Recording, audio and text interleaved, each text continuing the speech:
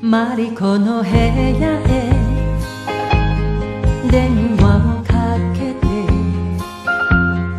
男と遊んでる芝居続けてきたけれどあの子も割と忙しい。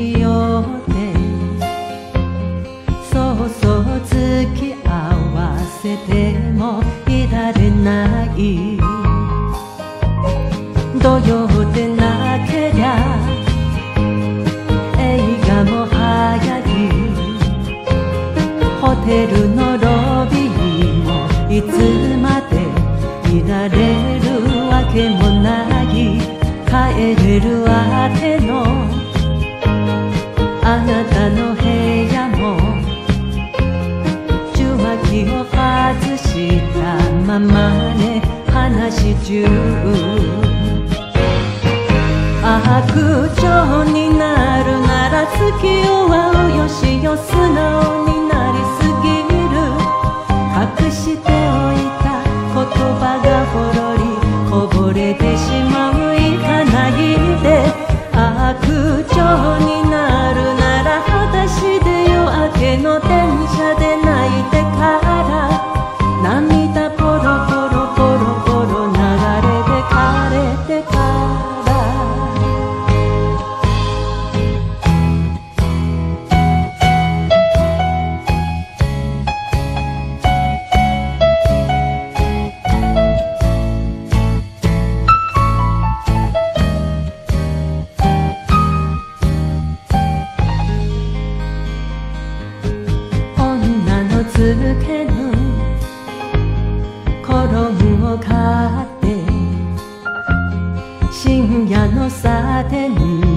鏡で同じにつけたなら夜明けを待って一番電車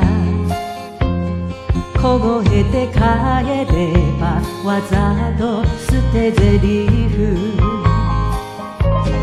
涙も捨てて情